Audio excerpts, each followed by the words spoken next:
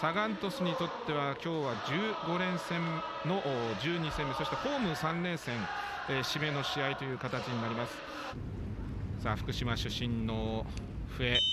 今前半のキックオフです。2020明治安田生命 J1 リーグ第22節サガン鳥栖対鹿島アントラーズです。いや面白いとこ入れましたね荒木ね。さあ長木から戻るエベラウドバックヘッドの形でつないで石崎。先先制鹿島アントラーズは白崎。今日スタメン起用実に14試合ぶり久々のスタメン。その起用に応えました白崎です、まあ、これクロスに対して前で潰れたことによって見えなくなったと思いますし、まあ、ここのセカンドボールへの反応というのが非常に早かった。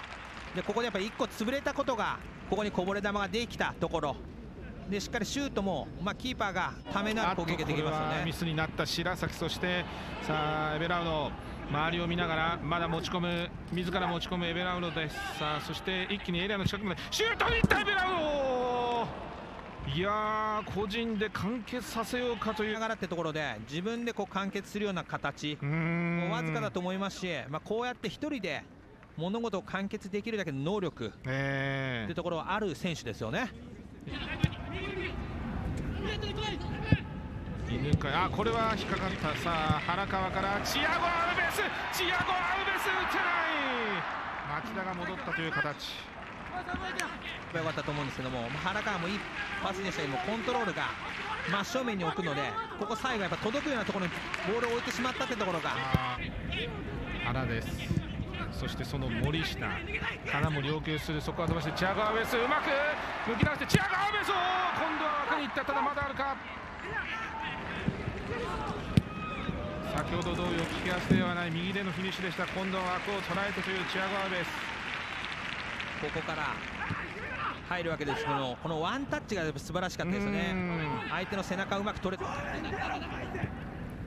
白崎も絡んでいく。さあ小泉小泉のパスエベラウドとボレーの形最後荒木も詰めてきましたが高岡もちろん合わせてくる可能性も含めてというところになりますがあと原川直接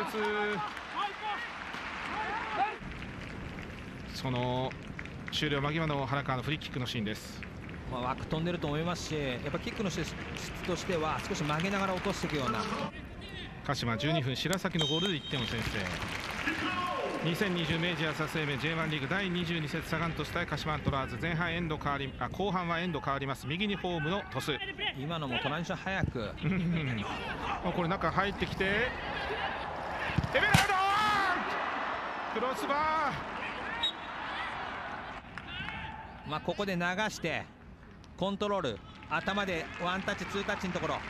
まあ少しハーフバンドのところ少し浮いてしまったのでバーでしたけれどもやっぱこの辺の冷静さってところは持ってると思いますしまこういうところしっかり決めると。鹿島トラーズです。中からボール。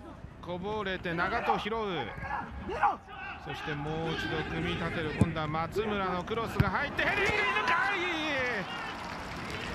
犬飼2点目が入りました。鹿島アントラーズは犬飼のヘッド。0対2試合勝利へ向けては非常に大きな2点目です犬飼。